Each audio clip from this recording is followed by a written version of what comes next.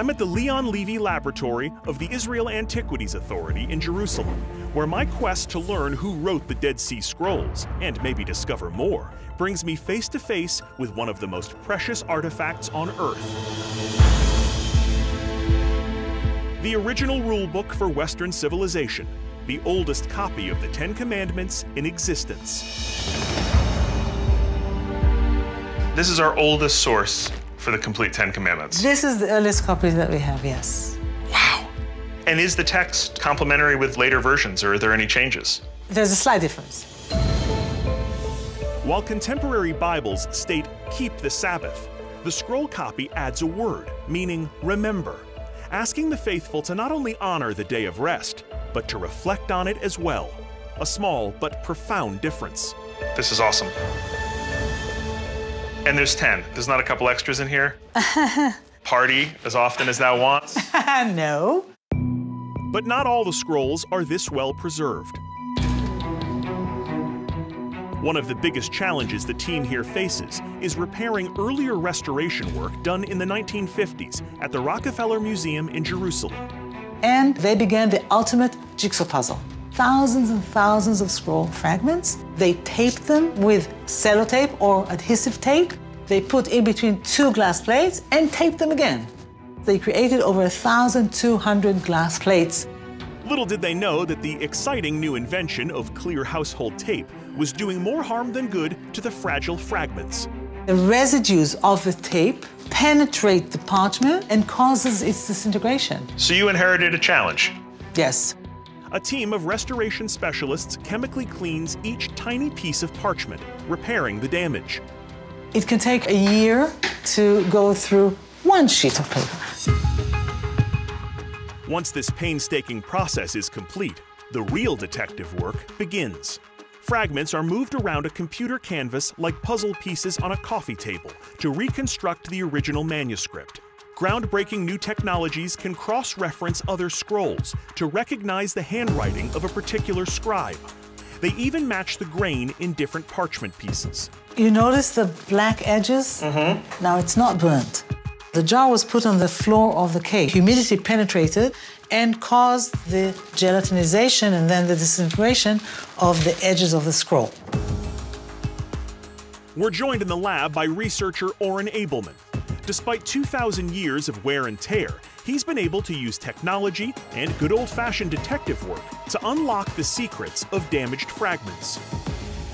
Tell me a bit about your part in the uh, work on the scrolls here. One of the things I found when I was going through our storeroom is that we have several boxes with piles of what looked like uh, fragments that didn't seem to have anything on them. And you were intrigued why? I mean, I look at that and it looks like, you know, Yeah. wood chips. You know, I knew that there was a scholar in the early 90s who actually took some fragments out of this box and he could see writing on them. So you thought maybe there's more here than meets the eye. Yep. And I found one word and a few parts of letters around it. Okay. But the word in Hebrew is zamra, which means a song.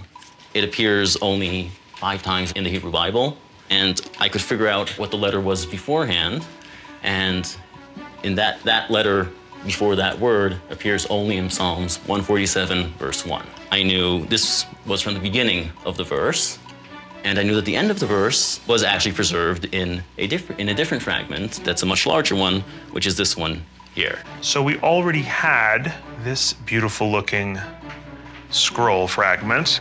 So my fragment belongs right here. So that's where that belongs. And what I actually discovered is that the version of this verse here is one word shorter than what is used in the Hebrew Bible today. And so what was the word that was added to the later Hebrew Bible? Na'im and Na'ava, which basically into English we both translate as nice. That's absolutely astounding. You went through a box of what looked like garbage and you rewrote the Bible.